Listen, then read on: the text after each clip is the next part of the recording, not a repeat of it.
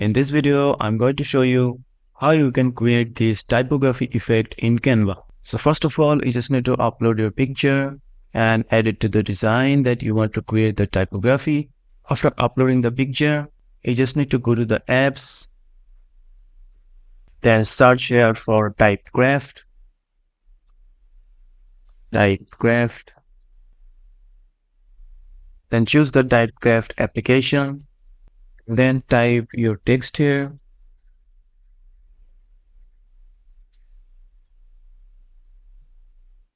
Now change the font here. Change the font to Anton.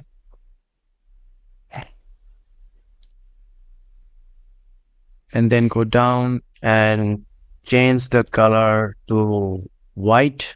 Then shape the text here to as you want to use the typography here. So you can drag and drop like this. Change the shape as you wish. Then select add element to design. And now as you can see, now you just have to adjust the that you want in your design. So just do this until you get the perfect shape for your typography design. Update element.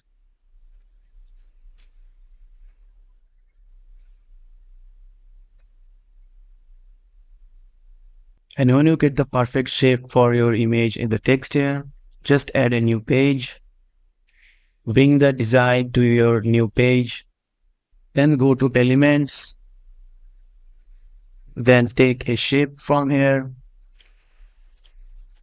then crop the shape here. Choose the color black and go to the layer and send backward.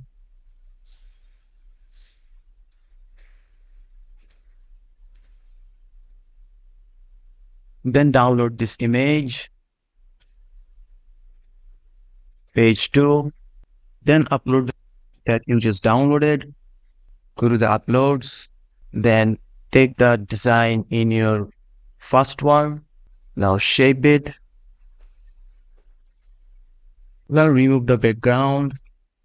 Now all you have to do is just go to the edit option and choose duotone option. Now go to this duotone fuchsia then choose the shadow color to white.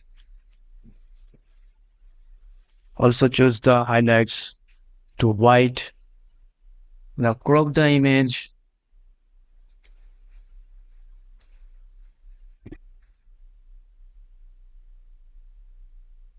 And resize it until you get the perfect shot of your typography effect here.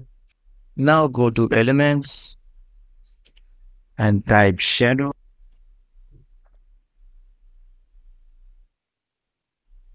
And add a shadow effect to your image.